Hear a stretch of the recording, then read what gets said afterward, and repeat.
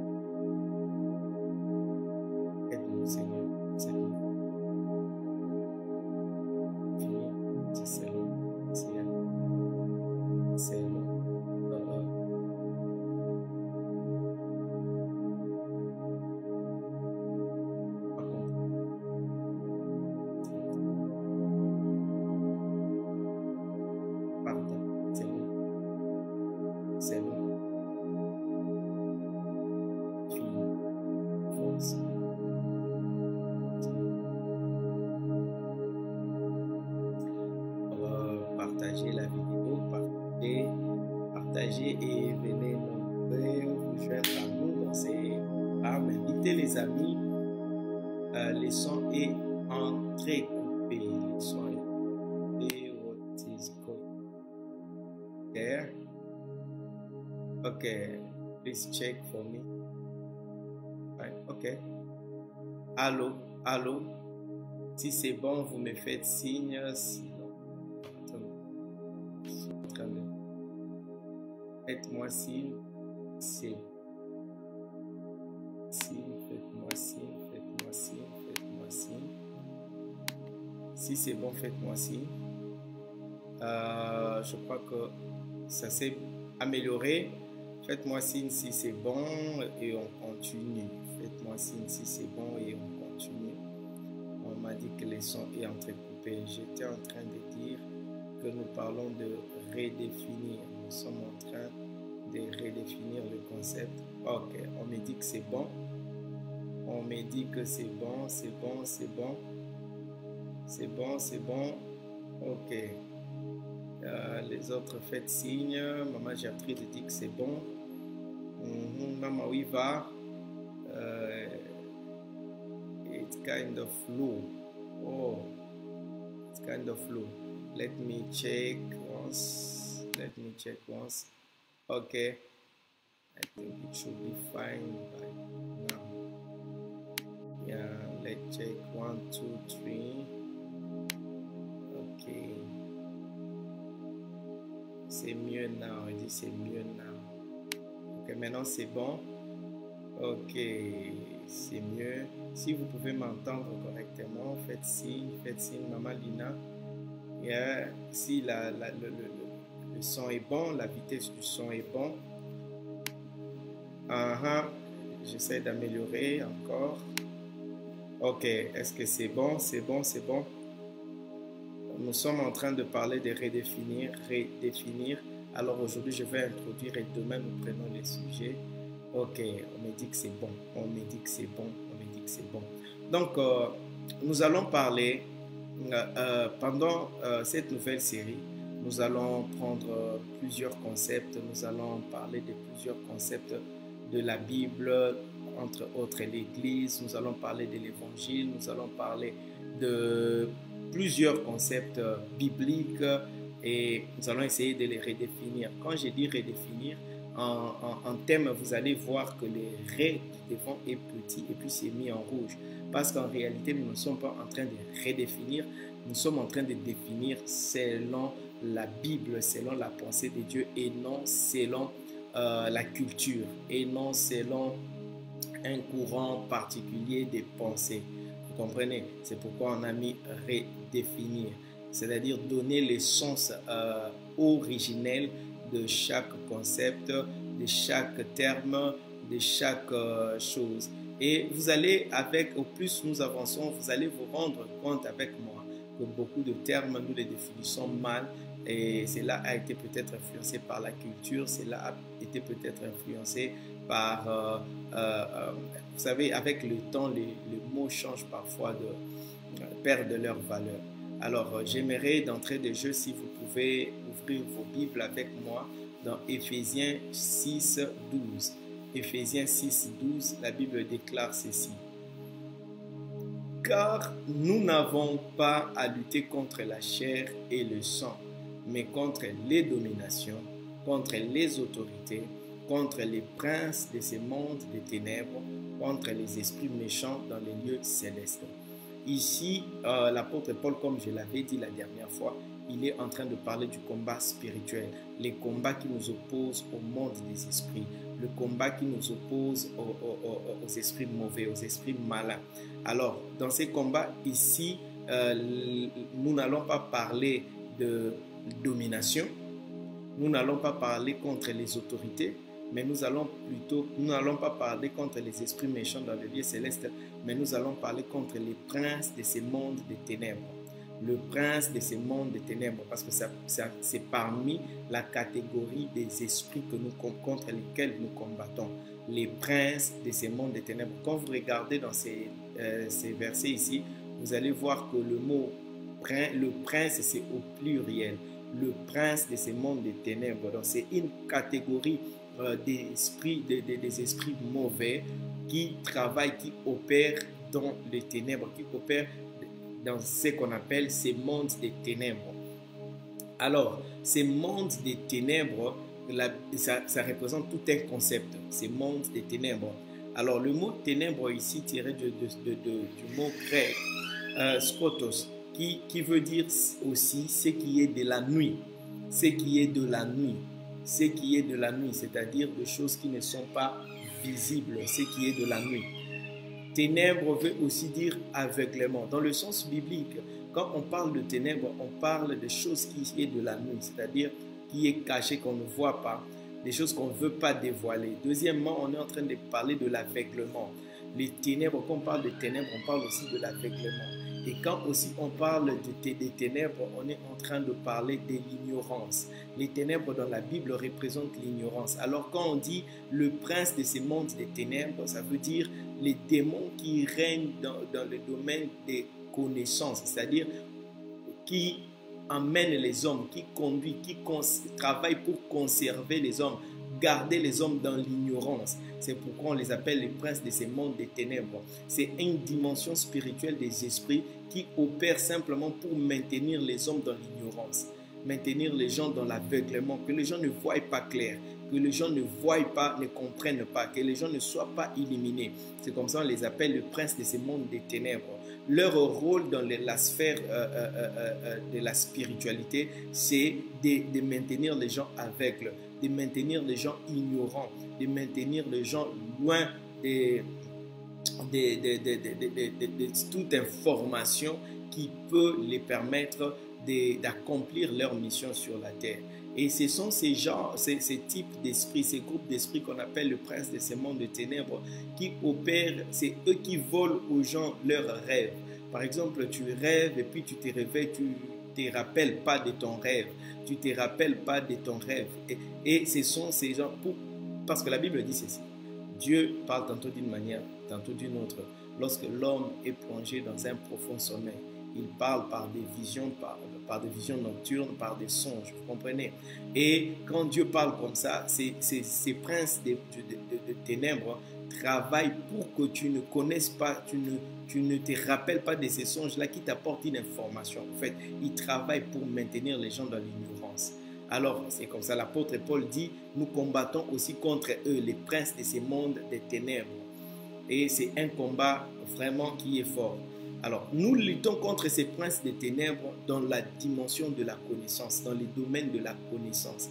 Et ces, ces princes des ténèbres, ils opèrent de manière à maintenir les enfants de Dieu dans l'ignorance de, de, la vérité qui est la clé de leur, leur liberté. Parce qu'un enfant de Dieu est affranchi en fonction de la connaissance qu'il a de la parole de Dieu, en fonction de la révélation qu'il a de la parole de Dieu. C'est comme ça, Jean chapitre 8, verset 32, la Bible déclare, vous connaîtrez la vérité et la vérité vous rendra libre et la vérité vous rendra libre et la vérité vous affranchira. C'est-à-dire quand tu plus tu connais, plus tu connais, plus tu es libéré, plus tu es affranchi, plus tu es libre. Comprenez Et le diable ne veut pas voir les gens être libres. Il veut pas voir les hommes être libres. C'est comme ça pour maintenir les gens esclaves, pour maintenir les gens liés. Qu'est-ce qu'il fait? Il combat dans le domaine de la connaissance. Il vous empêche de connaître. Il vous empêche d'accéder à la vérité. Et c'est comme ça la Bible déclare lorsque Dieu est en train de maudire euh, l'homme la femme et les serpents, il dit à la femme, je mettrai inimitié entre toi et la descendance de la femme. Tu lui mordras les talons et lui t'écrasera la tête. Quand il dit il te mordra les talons, c'est-à-dire le diable travaille pour empêcher la marche. Quand il te mord les talons, c'est-à-dire qu'il attaque ta marche pour que tu ne marches pas, mais pour que tu tombes. Or, les justes vivront par la foi. Nous marchons en fonction de la parole de Dieu. C'est-à-dire que l'attaque du diable dont on parle, il stoppe la marche d'un chrétien en l'empêchant de connaître la vérité parce que le juste est censé vivre, marcher selon l'esprit et vous n'accomplirez pas les œuvres de la chair. Et marcher selon l'esprit, c'est marcher selon la parole de Dieu, selon la loi de l'esprit qui est la parole de Dieu, selon la connaissance de l'esprit. Parce que la vie chrétienne est une marche et le diable attaque la marche. Et comment il attaque la marche, c'est pas quand on dit l'expression il mord les talons, ça veut simplement dire que le diable ôte la connaissance, c'est-à-dire il enlève ce qui te permet d'avancer. Et ce qui permet à un enfant de Dieu d'avancer, c'est la parole de Dieu. Donc c'est le, le, point principal des attaques de l'ennemi. Vous comprenez ça? Euh, Alors, lisons un autre texte, Éphésiens chapitre 2, versets 1 à 2. Éphésiens chapitre 2, versets 1 à 2. La Bible dit ceci, vous étiez morts par vos offenses et par vos péchés, dans lesquels vous marchiez autrefois, selon les trains de ces mondes, selon les trains de ces mondes, selon le prince de la puissance de l'air. Est-ce que vous me suivez? Selon la puissance selon le prince de la puissance de l'air, de l'esprit qui agit maintenant dans les fils de la rébellion. Ici, ce qui attire mon attention, c'est le prince de la puissance de l'air. On est en train de parler de la puissance de l'air. On parle de la marche dans lesquelles vous marchiez autrefois. C'est-à-dire, autrefois, nous marchions dans l'ignorance. Nous marchions dans les ténèbres. Et selon qui? Selon les princes de la puissance de l'air. C'est lui qui maintient les hommes dans cette ignorance-là. Quand on parle des airs ici, on est en train de parler du monde des informations. Vous comprenez? Les airs représentent le monde de l'information. Les ondes, les airs, ça, ça représente le monde des informations. Et le prince, sa puissance agit dans ces domaines-là pour empêcher la marche. Et il tire sa forme, les diables, ces princes ici tirent sa force en, change, en maintenant les gens dans l'ignorance. Comment il maintient les gens dans l'ignorance? Il travaille pour pervertir la vérité. Il travaille pour changer la vérité. Il travaille pour déformer la vérité. Et il enlève aussi la vérité. C'est pourquoi il déploie toute son énergie à gérer le monde des médias. Le diable travaille au maximum, il déploie toute sa force et, ses moyens pour maîtriser, pour avoir sous son contrôle les modes des médias, c'est-à-dire le monde des airs. Le monde des airs qui est le monde des médias, parce que l'information circule dans les airs. Et quand on parle des airs, on est en train de parler des médias. Dans les médias, nous avons la télé, nous avons l'Internet, nous avons la radio et toutes formes d'information. Nous avons les livres, nous avons toute forme de matériel ou de support qu'on utilise pour communiquer l'information. Le diable travaille pour les avoir sous son contrôle. Le diable travaille pour que cela ne lui échappe pas. C'est comme ça, si vous analysez très bien, vous allez remarquer que plus de 80% de ce qui se passe dans les médias est sous le contrôle du diable ce ne sont pas les enfants de Dieu qui contrôlent euh, à, une grande part ce qui se passe dans les médias. C'est-à-dire, si vous prenez le nombre de films euh, euh, païens, le nombre de films, comment dire, séculiers, si je peux le dire ainsi, vous verrez qu'il y en a plus que les films chrétiens, les films édifiants et les films chrétiens vous allez voir que la majorité de films sont contrôlés par les païens. D'ailleurs, l'industrie du cinéma est contrôlée par les païens, c'est-à-dire par le diable. Les émissions que nous suivons à la télé, nous avons même des télé-réalités et tout ça. Et nous avons le journal, les infos. Les diables gèrent le monde de l'information parce que c'est l'information qui détermine comment la personne va vivre. Les infos, ce sont les informations qui déterminent les, même les émotions des gens. Ce sont les informations qui déterminent même les habitudes des gens la façon de s'habiller. Aujourd'hui, si nous habillons comme nous habillons, c'est à cause de l'influence des médias. Si nous parlons comme nous parlons, c'est à cause de l'influence des médias.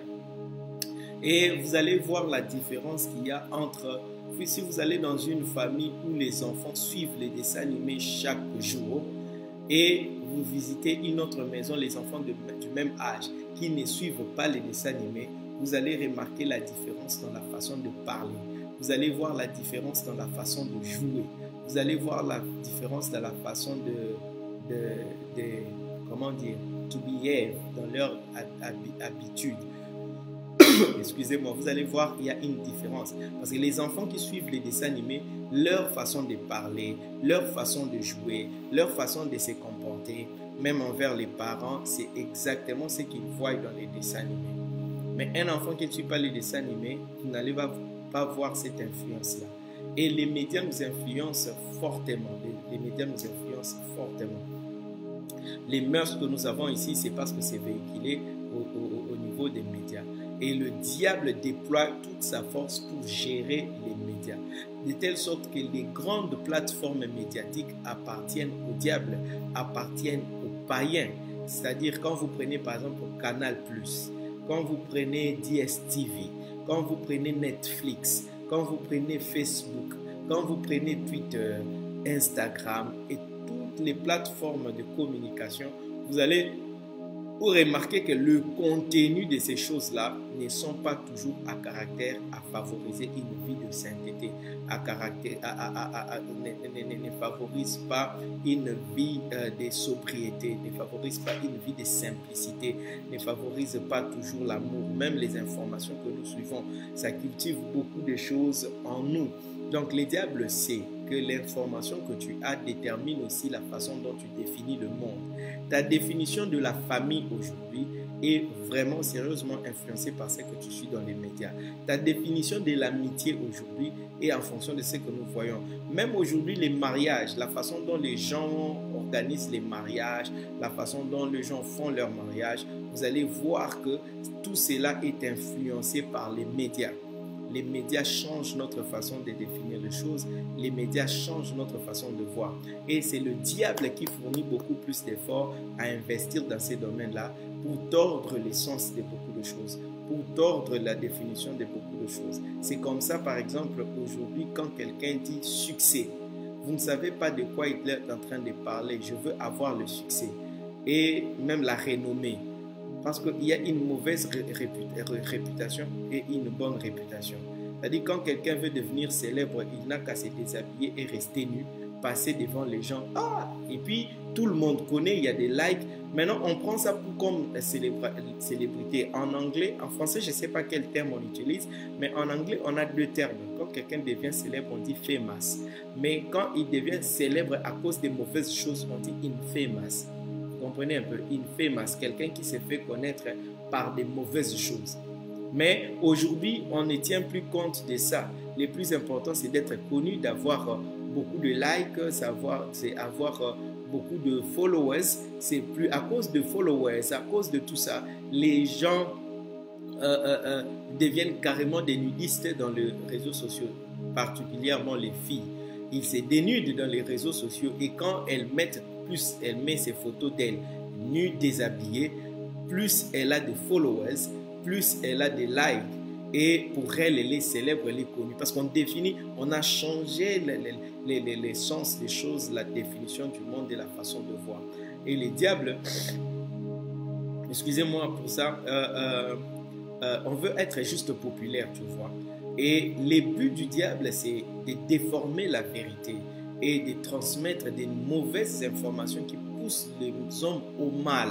Toutes ces informations-là créent la haine, toutes ces informations-là créent le découragement, toutes ces informations créent la division, ces informations créent la déception, ça crée l'immoralité. L'immoralité que nous avons aujourd'hui, la haine que nous avons aujourd'hui, la division que nous rencontrons, tout est manipulé par les médias. Juste prenez un temps où on, fait circuler une information et on peut amener tout un peuple à haïr une seule personne sur base des choses qui sont fausses.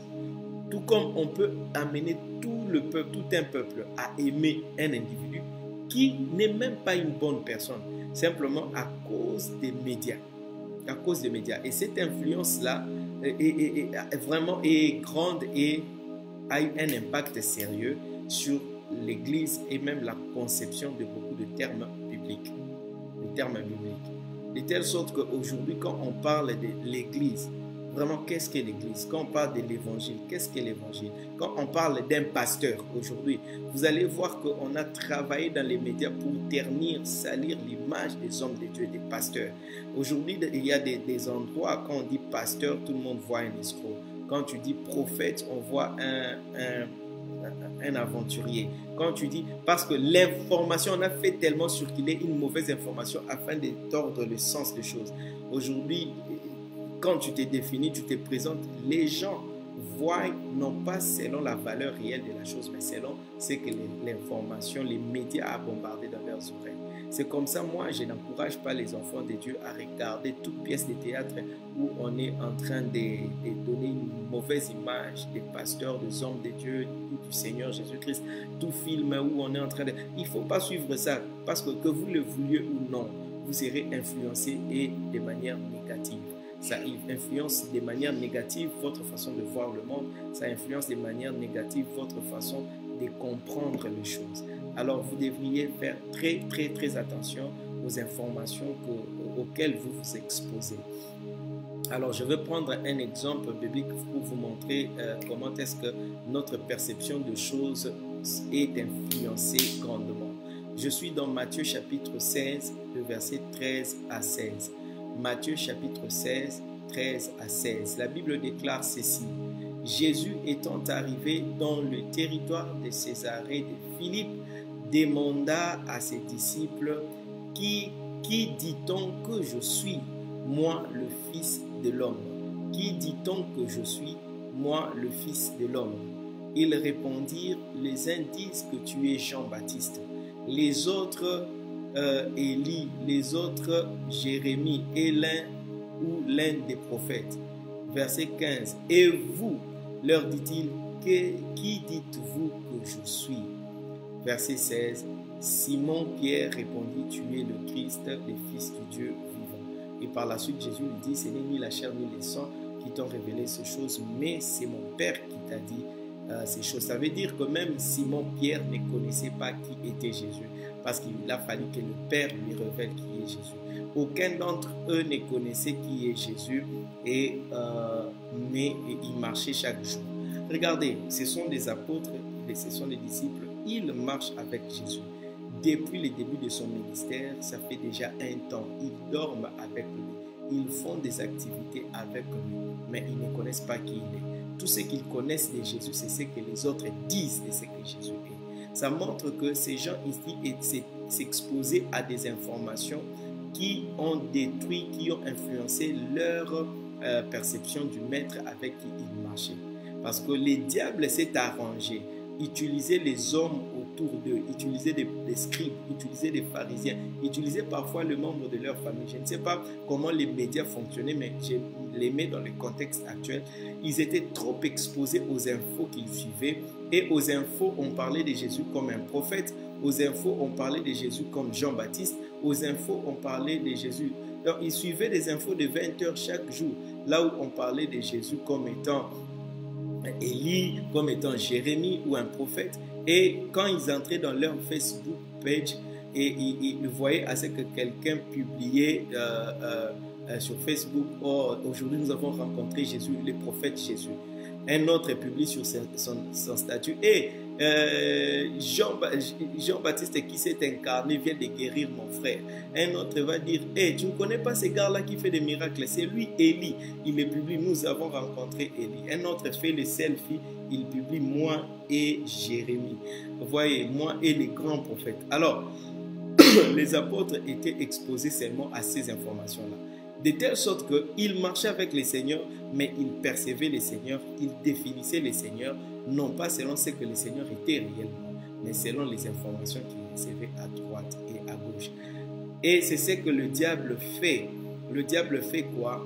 Il travaille de manière à ce qu'il nous bombarde des informations qui influencent notre perception de la vérité, notre perception de ce qui est devant nous. Voyez? Et imaginez maintenant les gens qui marchaient avec le Seigneur. Ils ont été influencés par ce qui se disait autour d'eux et eux-mêmes définissaient mal qui était le Seigneur. Maintenant, imaginez vous et moi aujourd'hui. Nous sommes à des milliers d'années de, de, la vie du Seigneur sur la terre.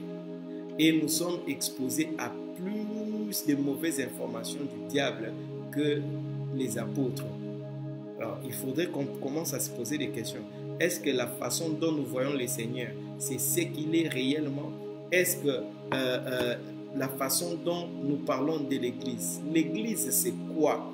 Est-ce que c'est l'Église? Nous comprenons ou nous définissons l'Église aujourd'hui selon ce que le monde nous a bombardé comme information de l'Église ou bien nous définissons l'Église comme le Seigneur l'a définie. Quand nous parlons de l'Évangile, est-ce que nous définissons cela comme le Seigneur définissait l'Évangile ou nous définissons cela comme le monde l'a imposé au travers des médias? Parce qu'il y a des moments, il y a des aujourd'hui quand tu dis Église, on voit carrément un lieu où on est en train d'exploiter les gens. voyez?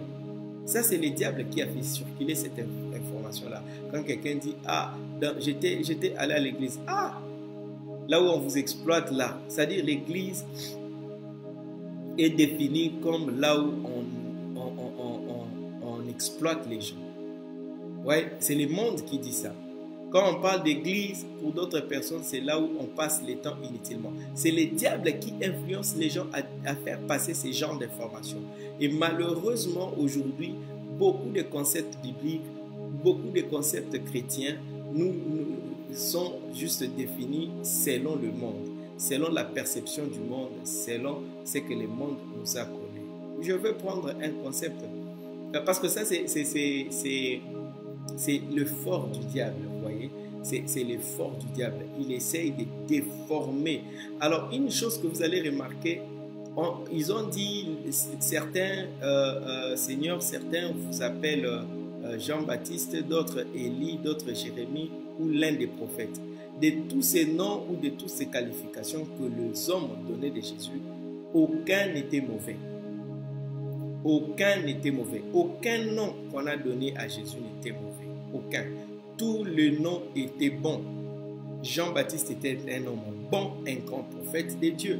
Et Jésus l'a déclaré de sa bouche, de tous ceux qui sont nés de femmes, il n'y a euh, personne, il n'y a pas plus grand Jean-Baptiste. Jean-Baptiste était grand. Alors quand on t'appelle Jean, c'est grand, c'est bon. Et on l'a appelé Jésus Élie. Quel est le prophète, quel autre prophète euh, qu'on a connu qui a agi comme Élie? À part peut-être Moïse. C'est-à-dire quand on t'appelle Élie, c'est la grandeur. C'est grand et c'est bon. Et on l'a appelé Jérémie. Il a dit les autres t'appellent Jérémie. Mais c'est un bon nom. C'est le nom d'un prophète à qui Dieu a dit, depuis le ventre de ta main, je t'avais connu. Et puis on dit l'un des prophètes. Qui n'aimerait pas avoir aujourd'hui le titre de prophète et être un prophète? Tous ces titres ou tous ces noms qui étaient donnés à Jésus étaient bons, mais ce n'était pas la vérité. Ce n'était pas ce que Jésus, malgré que c'était bon, mais ce n'était pas la vérité. Alors quand ce qui est bon n'est pas la vérité, ça devient le mensonge. Malgré que c'est bon. Quelque chose peut être bon, mais être un mensonge. Oh parce que ce n'est pas la vérité. La vérité est que Jésus n'était pas Jean-Baptiste. La vérité est que Jésus n'était pas euh, Élie, Jésus n'était pas Jérémie ou l'un des prophètes. C'était faux. Mais tous ces noms-là étaient des bons, des bons noms, des, noms célèbres, des noms de puissance. Mais ce n'était pas la vérité, c'était le mensonge. Vous voyez? Et c'est de cette manière sournoise que le diable vient tordre la vérité. Ça, ça. Aux yeux, ça semble bon. Aux yeux, ça semble correct. Mais en réalité, suivant la vérité, ce n'est pas vrai. Ce n'est pas vrai. Donc, vous comprenez que euh, tout ce qui est bon n'est pas nécessairement vrai. C'est comme ça, l'Église ne doit pas fonctionner en termes de bon, mais l'Église doit fonctionner en termes de, de right, juste. Ce qui est juste, vous comprenez? Ce qui est juste, parce que quelque chose qui est juste peut paraître mauvais devant les hommes. Par exemple, c'est un père de famille, il va dans un procès, on le condamne par exemple à 20 ans de prison. C'est très, c'est quelque chose de dramatique pour la famille. C'est quelque chose de mauvais pour la vie familiale. Les pères seront en prison, les enfants resteront là. Mais c'est quelque chose qui est juste. Bien qu'il y a des gens qui en souffrent, bien qu'il y a des gens qui en pleurent, mais c'est quelque chose qui est juste. Alors nous les chrétiens, nous ne vivons pas en termes de bon ou de mauvais. Nous vivons en termes de juste et injuste. Ce qui fait que je peux faire quelque chose qui paraît mauvais devant tout le monde. Mais quand c'est juste, c'est juste. Et Jésus lui-même nous en a donné l'exemple. Jésus lui-même nous en a donné les, modèles. Parce qu'il n'a pas fait que des choses qui étaient bonnes. Jésus n'a pas fait que des choses bonnes. Il a fait des choses qui étaient justes. Je vous donne un exemple. Il y a la loi qui est là, qui détermine comment les choses doivent fonctionner. C'est-à-dire, c'est les jours du sabbat, tu ne peux pas faire ceci. Mais Jésus guérit les jours du sabbat il a fait quelque chose qui était juste. Bien que ce n'était pas bon dans la société, bien que ce n'était pas bon selon la, loi, mais c'était juste et il l'a fait. Jésus, par exemple, quand il dit race des vipères, waouh, est-ce qu'il faudrait dire aux gens comme ça? C'était des grandes personnes, c'était des scribes, c'était des docteurs de la loi au pied de qui il était là pour apprendre lorsqu'il avait 12 ans. Mais il les a appelés race de vipères. Est-ce que c'est bon? Ce n'est pas bon, mais c'est juste. Vous comprenez un peu? C'est très juste. Voyez un peu Quelque part, il était aussi en train de discuter avec eux et il, les a appelés euh, euh, fils, vous êtes euh, comme votre père, le diable qui est menteur depuis le commencement. Vous voyez, il les a appelés fils du diable. Est-ce que c'était bon de parler aux gens comme ça? Non, mais c'était juste. Donc, nous les chrétiens, nous ne devons pas vivre pour être bons. Non, non, non. Un chrétien doit être juste. Vous comprenez? Un chrétien ne doit pas chercher à être bon, mais un chrétien doit chercher à être juste. Et quand tu es juste, il y a des choses que tu feras qui paraîtront vraiment euh, mauvais auprès de, des hommes. Et c'est comme ça Jésus, en, en ayant cela en vue, il a dit à ses disciples, de la même manière qu'ils m'ont persécuté, ils vous persécuteront aussi. Vous comprenez Le monde m'a persécuté, ils vont, vous persécuter. Pourquoi? Parce que vous, le monde n'aime pas la justice.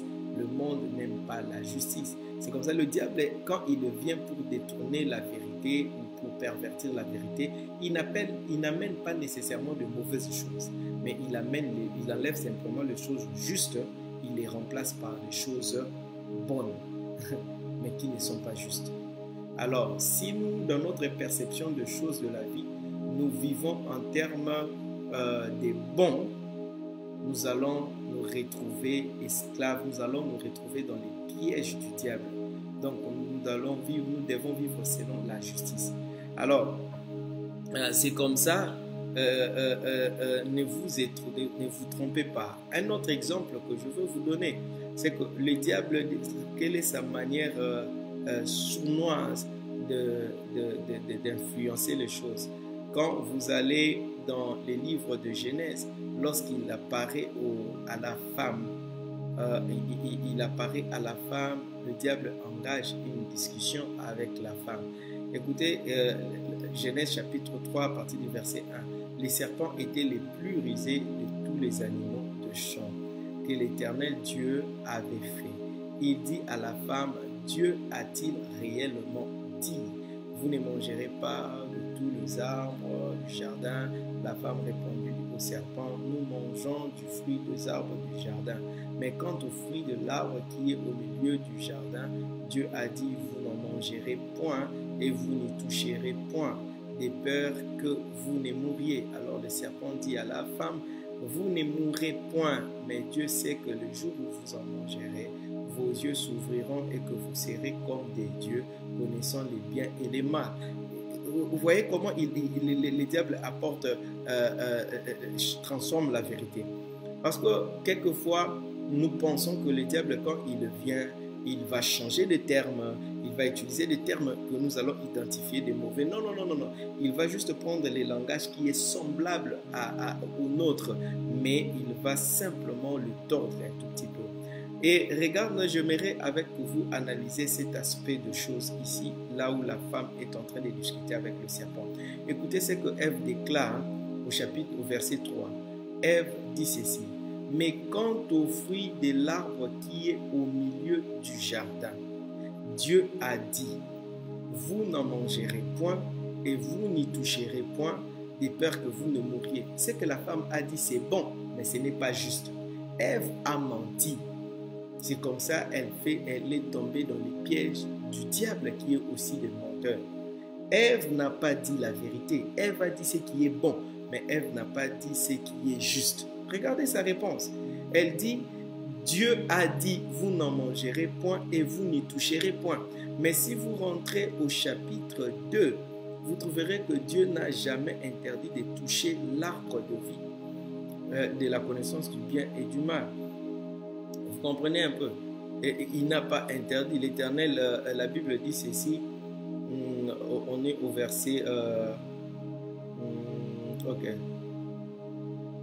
Euh, je, prends quel... Ok, l'Éternel donna cet ordre. Chapitre 2, verset 16. Genèse chapitre 2, verset 16. L'Éternel, Dieu, donna cet ordre à l'homme. Tu ne pourras manger, tu, pourras manger de tous les arbres du jardin. Verset 17. Mais tu ne mangeras pas de l'arbre de la connaissance du bien ou du mal et du mal, car le jour où tu en mangeras, tu mourras. Dieu, l'ordre de Dieu était juste, était simple. Tu ne mangeras pas. Dieu s'est arrêté à interdire de manger. Dieu s'est arrêté à interdire quoi? De manger. Il a dit, tu n'en mangeras pas, tu n'en mangeras pas, tu n'en mangeras pas. Mais la femme vient, elle y ajoute en disant, Dieu a dit, vous n'en mangerez point et vous n'y toucherez point.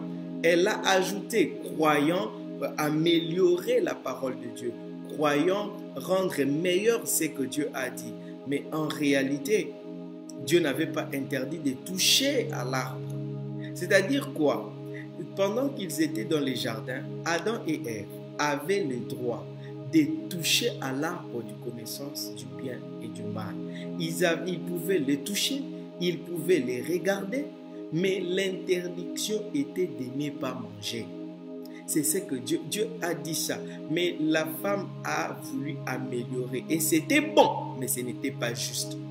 Et quand vous quittez le juste pour tomber dans le bon, vous donnez accès au diable.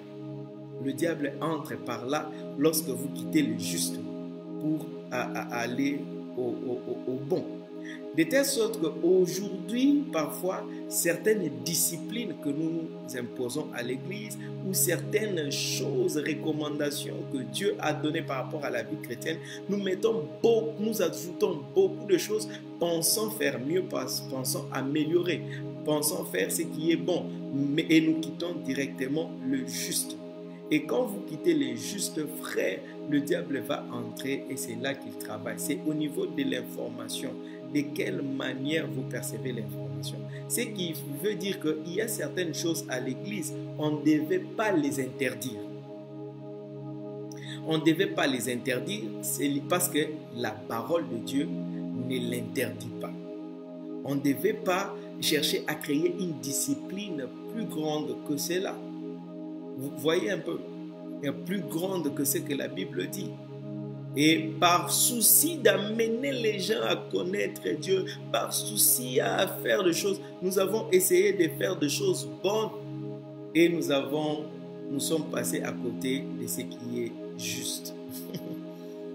et conséquence, c'est que nous avons fait entrer le diable à organiser les cultes. Organiser les cultes, c'est bon, mais est-ce que nous le faisons de la manière juste? Ah, Qu'est-ce que je fais dire ici? J'aimerais utiliser un terme qui ne va pas déjà vous choquer dès le premier jour. Maintenant, je vais vous poser une question, vous qui me suivez. Lorsque nous nous réunissons dans les cultes, la manière les cultes se déroulent, est-ce que c'est bon seulement ou bien c'est juste? Est-ce que nous organisons le culte selon que la parole de Dieu enseigne que le culte devait Selon que la pensée de Christ par le Saint-Esprit voudrait que le culte soit? Est-ce que la façon dont nous commençons les cultes, la façon dont nous acheminons dans les cultes, les rubriques que nous avons dans les cultes, est-ce que c'est nous faisons le culte de manière juste ou bien nous le faisons de la manière, de, la bonne manière simplement? Vous comprenez un peu? Ok. L'organisation de l'Église aujourd'hui, pasteur, euh, maman pasteur, euh, les, pasteurs assistants, et tout ça, les départements, est-ce que la manière dont nous organisons l'Église aujourd'hui, est-ce que c'est simplement bon ou bien nous la faisons de la manière juste? Parce que quelque chose n'est juste que lorsqu'il est, conforme à la pensée originelle de Christ. C'est-à-dire c'est Dieu qui veut que ça soit comme ça. C'est la parole qui détermine que ça soit comme ça.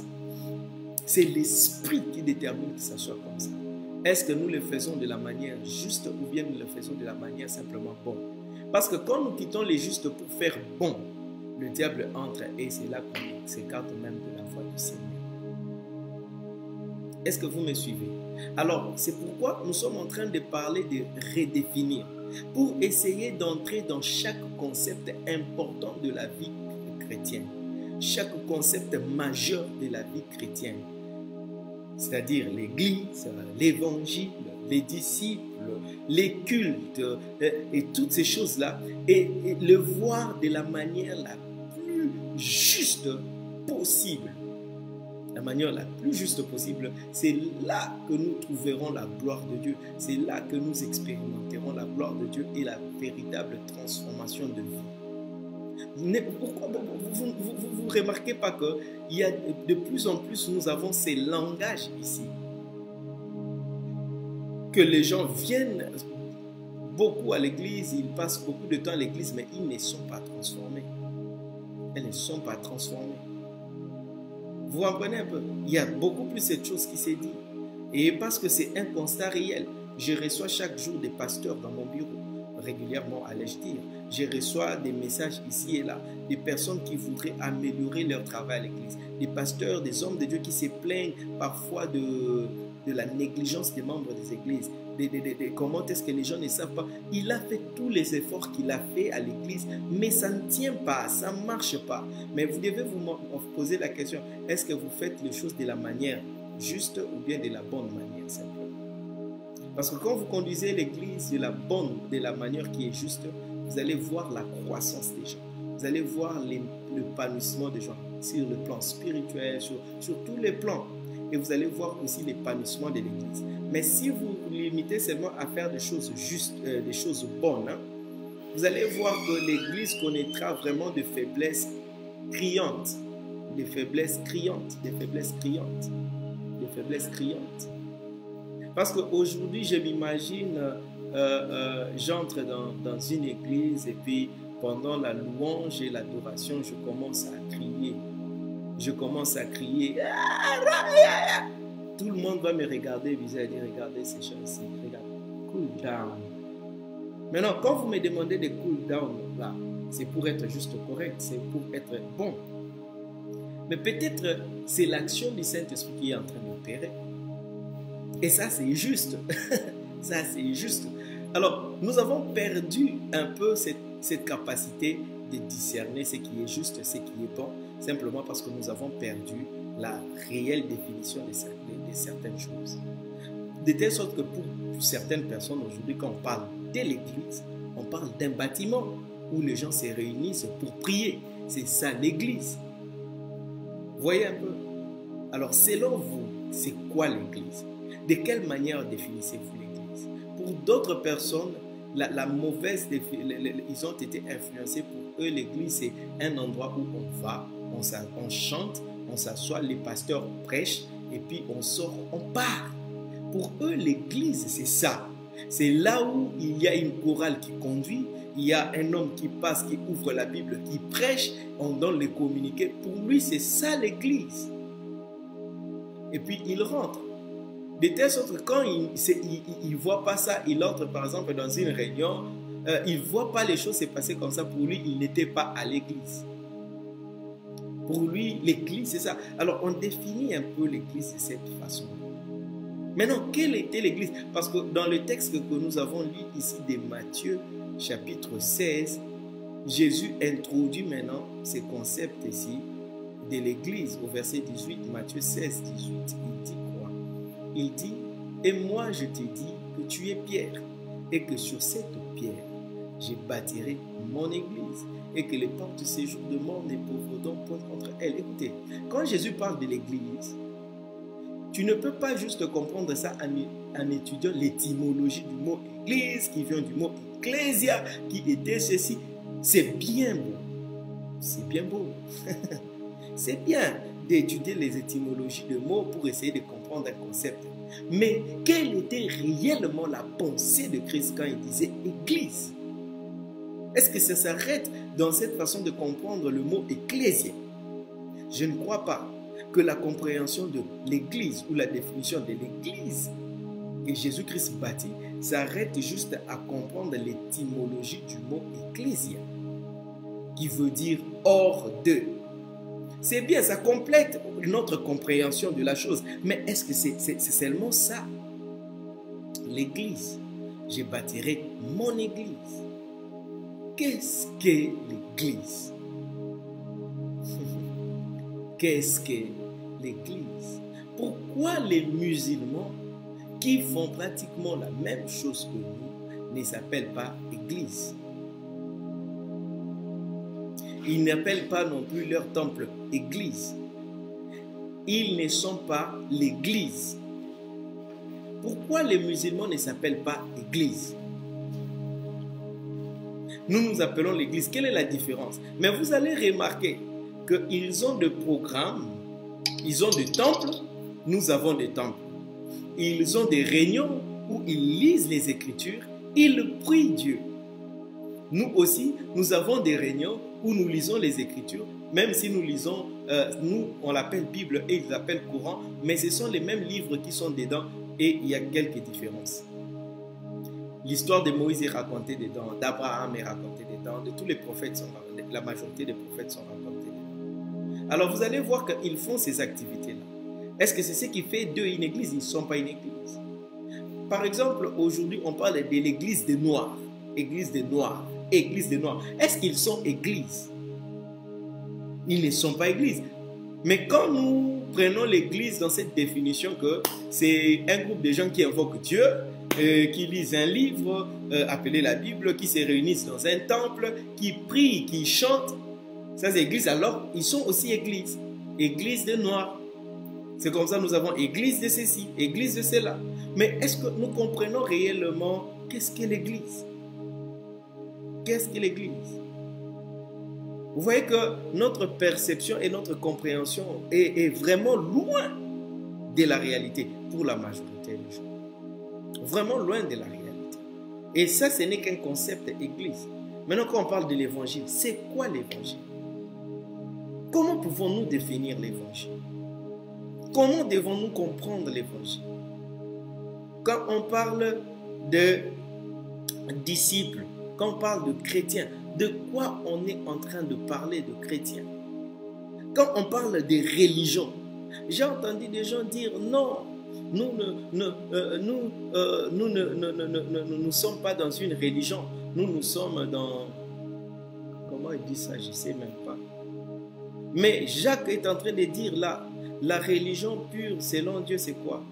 C'est de prendre soin des orphelins et tout ça. C'est-à-dire, dans notre foi, il y a la religion. Nous devons être religieux. Être religieux veut dire quoi? Être religieux selon la Bible. Nous n'allons pas définir être religieux selon le monde. Selon la Bible, être religieux, c'est quoi? C'est assister les orphelins et les veuves. Assister celui qui est dans les besoins. C'est ça, être religieux, selon la Bible. Et ce n'est pas une mauvaise chose d'être religieux. Mais à cause de notre façon de définir des choses, en dehors de ce que la Bible dit, aujourd'hui, quand on dit à quelqu'un tu es religieux, c'est quelque chose de négatif. Parce qu'on a défini, on a donné euh, euh, une, un sens à la religion. Selon nous, être religieux n'a rien de mauvais parce que l'apôtre Jacques le dit. La religion qui plaît à Dieu, la religion selon Dieu. Est-ce que vous, êtes en train de me saisir? Nous, nous, allons les, les, les lire ensemble pour que vous voyez cela. Il y a une religion. Être religieux n'a rien de négatif. Mais ça dépend de comment vous définissez la religion. Selon le monde ou bien selon la Bible. Je suis dans, Jacques chapitre 1.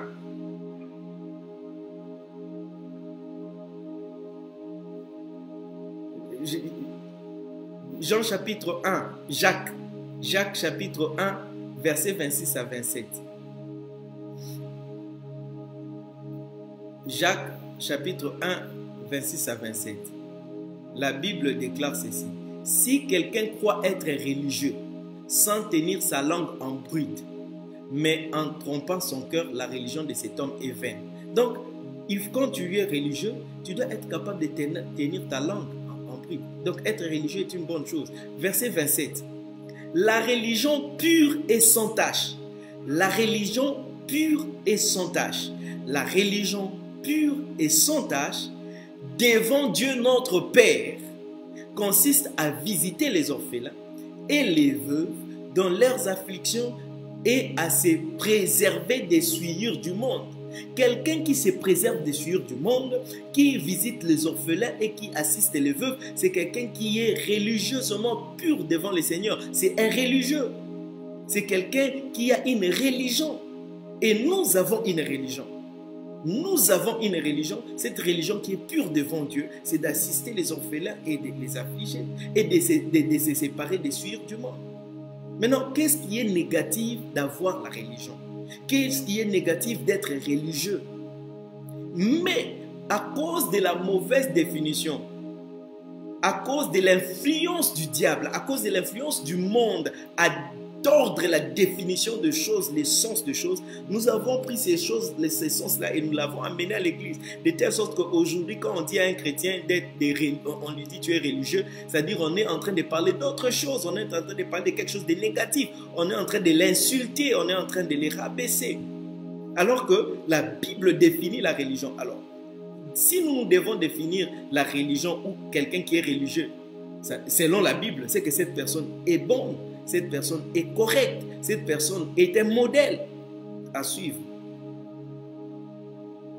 Donc nous nous sommes laissés influencer et beaucoup, il y a beaucoup de concepts, beaucoup de termes que nous, enfants de Dieu, nous avons commencé à définir selon l'influence du monde. C'est pourquoi je vous ai dit la lutte, c'est contre les princes, les, les princes de la puissance des airs, contre les princes de ces mondes des ténèbres qui sont là juste pour tordre l'information, pour tordre la conception de choses, pour tordre la définition de, choses.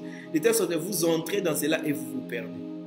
Vous, savez, c'est une bonne chose hein, de dire, ah non, pas la religion, c'est bon, c'est bon, c'est bon. ça sonne bon, mais c'est pas juste. Moi, je suis religieux. Je suis religieux. Yes. Et ma religion est pure devant Dieu. Parce que je me préserve, du mal, je visite l'orphelin et j'assiste la veuve dans son affliction.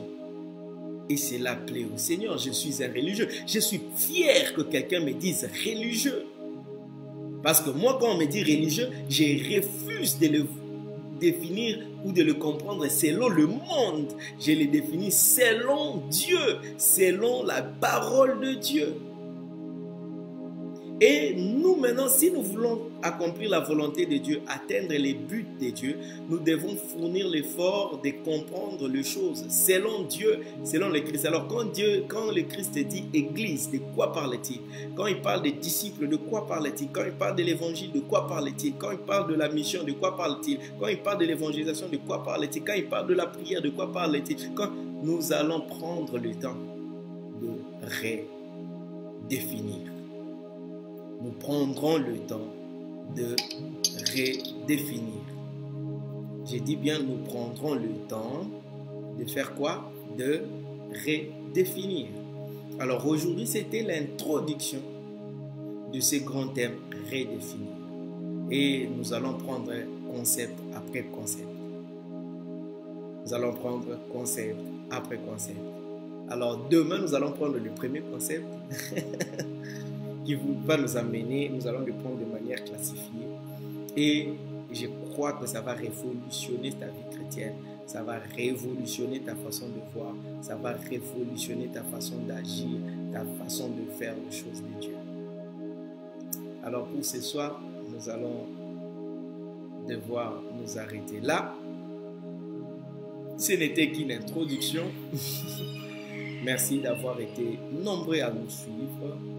Euh, soyez fidèles à ces programmes, soyez ponctuels à ces programmes pour qu'ensemble nous achemions bien. Parce que si vous suivez très bien, vous allez aussi très bien poser des questions. Mais si vous ne suivez pas très bien, vous risquez de ne pas bien poser des questions. Moi, j'aime quand les gens posent des questions. Quelqu'un qui n'a pas compris, il ne pose même pas de questions. Mais quelqu'un qui a bien compris pose beaucoup de questions. Alors, euh, posez des questions, envoyez vos questions, les, expliquer étape par étape. Nous allons prendre concept après concept. Alors je vous dis au revoir, on va prier le Seigneur. Père, merci pour ce soir où nous avons introduit ces grands thèmes, ces grands sujets. Je prie que tu nous conduises par ta sagesse et ton intelligence jusqu'au bout. Éclaire-moi encore davantage. Que je ne sois pas cette lampe qui est sous la table, mais une lampe placée sur la table afin d'éclairer les nations. Tu as dit, vous êtes la lumière Vous êtes les saints Permets, éternel mon Dieu, que la saveur revienne. Permets dans nos vies que la saveur divine revienne au travers de ta parole, au travers de ces enseignements. Fais-les par ta grâce. Au nom de Jésus, nous avons prié. Amen. Merci de nous avoir suivis nombreux. Merci de partager, d'inviter les amis à se joindre à nous dans ces longs périples nous amène à, à- à- à rendre gloire à Dieu par Merci pour votre soutien, vous qui nous soutenez financièrement dans vos prières, matériellement. Merci beaucoup parce que sans cela, il nous est difficile de faire ce travail, de maintenir le rythme, euh, de pouvoir pourvoir à tous les besoins qu'il y a, l'Internet, l'électricité et tout ce qui va avec. Merci pour ceux qui pourvoient et pour nous. Merci pour votre fidélité. Alors, pour euh, nous apporter votre contribution, notre site internet est là, euh, www.micron.org.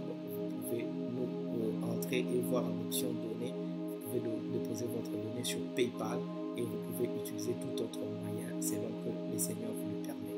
Alors, pour ce soir, je vous dis au revoir. On se revoit demain pour continuer notre euh, programme sur Redéfinir. Bye bye.